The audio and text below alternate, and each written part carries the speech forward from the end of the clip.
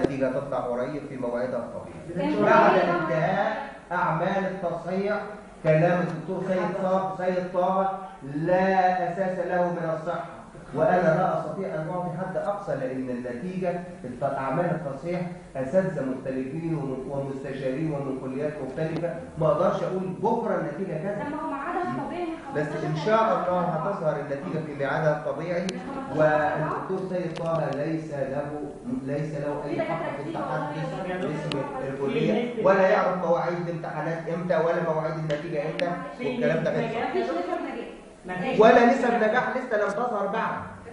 كل الكلام اللي اتقال عن نسب نجاح قليلة أو كبيرة كلام غير صحيح اطلاقا لأن النسب دي بتتعمل إمتى؟ لما كل الأوراق تبقى جميع المواد تبقى موجودة في الكنترول نبقى نبدأ نعرف بقى طب نسب في مطلب؟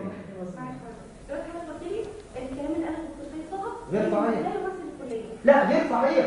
هو أول لا طب عايزين اتخاذ قرارات غير صحيح. ثانيا مش متحدث هو باسم الكليه الكليه لها عميد ولا دلوقتي يتكلم باسم الكلية. مين؟ مين؟ هو كدكتور. في كذا دكتور يا دكتور هو بيتكلم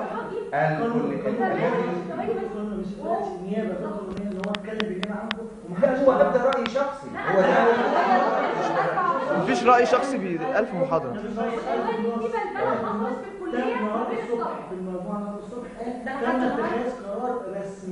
قالها في محاضرة. أنا أولا أنا أنا وكيل كلية أهو. والله العظيم ما أعرف هذا إلا وأنا في المحاضرة. وأنا في المحاضرة. صورنا مع طب يا دكتور ده النتيجة.